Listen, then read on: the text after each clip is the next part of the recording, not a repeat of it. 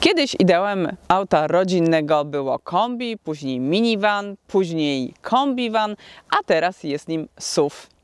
Każdy z tych rodzajów nadwozi ma swoje zalety i chyba dlatego Dacia, tworząc swoją interpretację samochodu idealnego dla rodziny, czerpała właśnie z tych trzech wzorców. Tak powstał Jogger, model, który ma dać maksimum praktyczności za rozsądną cenę.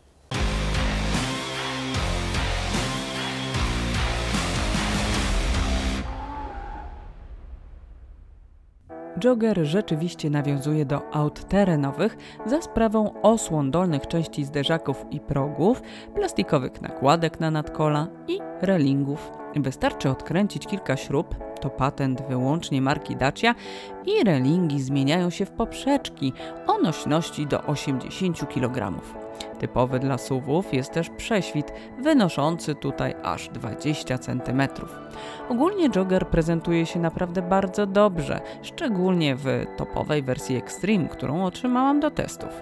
Trudno też nie zwrócić uwagi na przednie i tylne światła, które bardzo wyraźnie nawiązują do stylistyki Volvo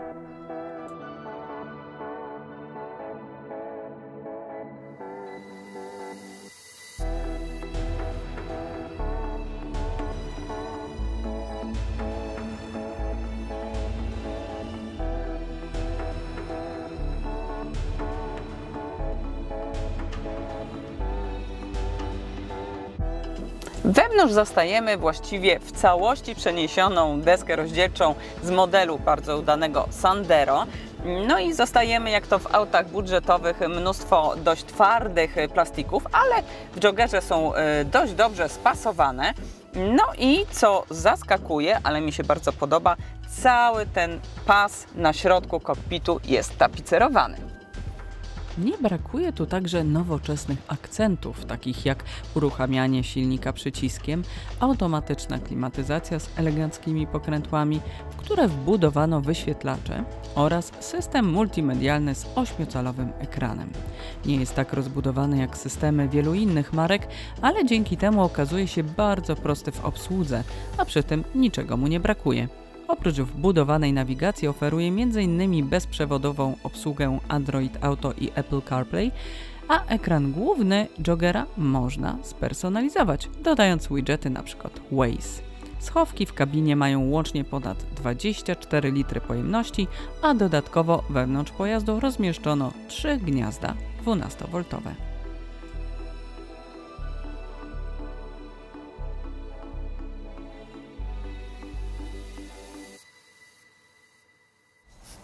Bardzo fajnym pomysłem jest ten uchwyt, fabryczny uchwyt, dzięki któremu możemy mm, zamontować telefon, nawet duży smartfon, zarówno w pionie, jak i w poziomie. Jest on zlokalizowany na wysokości kokpitu zegaru, więc nie zasłania nam pola widzenia. Pomyślano także o umieszczeniu w jego pobliżu gniazda USB, które jest zlokalizowane tuż za nim, a w standardzie możemy się tu też spodziewać regulacji w dwóch płaszczyznach kolumny kierownicy.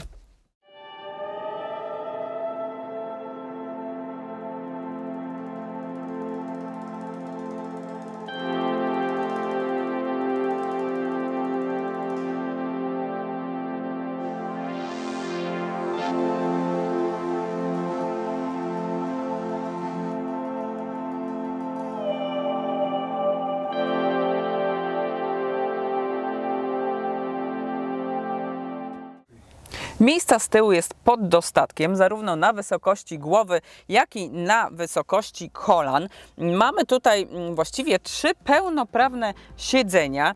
To środkowe dlatego wygospodarowano, bo jest bardzo nisko poprowadzony tunel środkowy, więc spokojnie trzy dorosłe osoby będą się tu czuć w miarę komfortowo. Do dyspozycji pasażerów są praktyczne stoliki i na środku gniazdo 12V.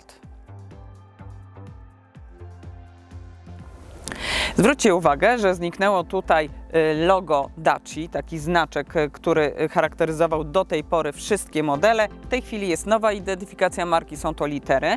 No i po otwarciu tej olbrzymiej klapy Okazuje się, że mieszczę się tutaj idealnie pod nią. Wysi już będą się musieli mm, troszkę schylić, żeby dostać się do ogromnego kufra 700 litrów y, pomieści bardzo ustawna przestrzeń. E, no i możemy tutaj sobie zamówić trzeci rząd siedzeń. Producent twierdzi, że wówczas y, możemy nawet ustawić y, to wnętrze w 60 kombinacjach przeróżnych. Te siedzenia zresztą można zdemontować. Podobno ważą niewiele więcej niż pojemnik e, z wodą, więc są lekkie. No ja mam tutaj wersję pięcioosobową i dzięki temu ta przestrzeń jest po prostu ogromna. Po złożeniu tylnych foteli Zmieściłam tutaj na raz dwa fotele, stolik taki wypoczynkowy z dwoma krzesłami i mnóstwo pakunków. Jeśli zostawimy wyłącznie dwa siedzenia, czyli całkowicie złożymy drugi rząd siedzeń, pojemność kufra wzrasta do 2000 litrów. Nawet uwzględniając nieregularność wnętrza, wymiary bagażnika umożliwiają przewożenie naprawdę dużych przedmiotów o szerokości 1 metra mierząc między nadkolami lub ponad 2 metrów długości mierząc do oparć przednich foteli. Do wyboru w Joggerze są obecnie dwa silniki.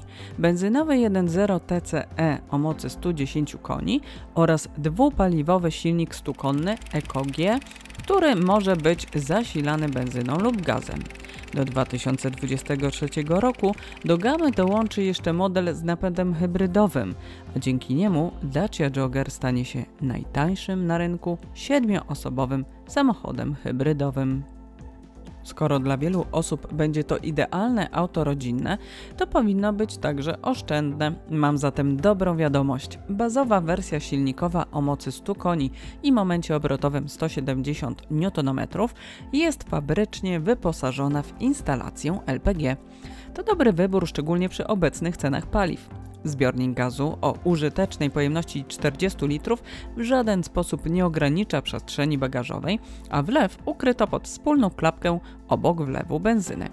Przełącznik LPG ma formę fabrycznego przycisku, a nie doklejonego akcesoryjnego przełącznika. Z kolei komputer pokładowy pokazuje bardzo przydatne informacje, zużycie oraz zasięg w zależności od wybranego rodzaju paliwa. Średnie zużycie gazu na 100 km według producenta to 8 litrów. No, mi się udało uzyskać 10 litrów na setkę, więc spora różnica. Ten 100-konny silnik może nie jest demonem prędkości, no ale przyspieszenie na poziomie 12 sekund i 3 mm, to jest wynik moim zdaniem jak na ten rodzaj samochodu akceptowalny. Auto czasem szarpnie, Czasem zawyje niemiłosiernie, zwłaszcza wtedy, jeżeli chcecie kogoś szybko wyprzedzić albo przyspieszyć gwałtownie.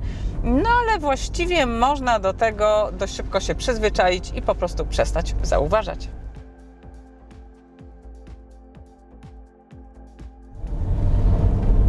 A teraz trzy plusy i trzy minusy Daci Jogger.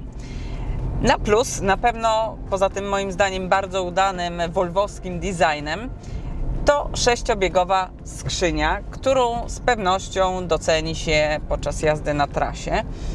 Drugi plus to niska masa tego samochodu. To jest naprawdę lekki pojazd. 1200 kg to jest mniej o 200-300 kg niż u konkurencji. No a trzeci plus to oczywiście fabryczna instalacja LPG, a co za tym idzie, no niższe koszty eksploatacji, w tym części zamiennych.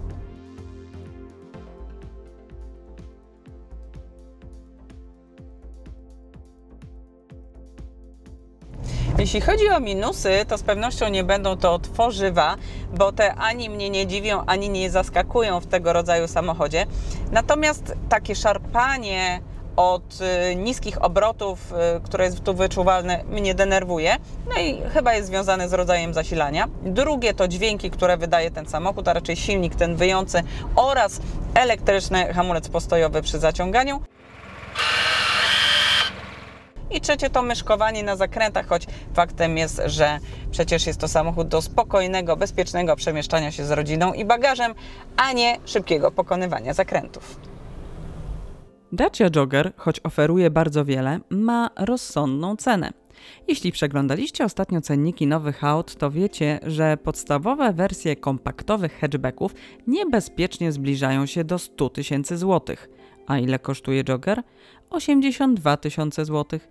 I to nie za bazową wersję, a tę testowaną, topową odmianę z klimatyzacją automatyczną, kamerą cofania, 16-calowymi alufelgami oraz oczywiście instalacją gazową, a także dużym ekranem z dobrym systemem multimedialnym. Jeśli jednak nie zależy Wam szczególnie na wyposażeniu, to Joggera kupicie już za 70 tysięcy złotych. Mówię, że długość nie ma znaczenia, ale 4,55 metra sprytnie zaprojektowanego nadwozia robi jednak różnicę.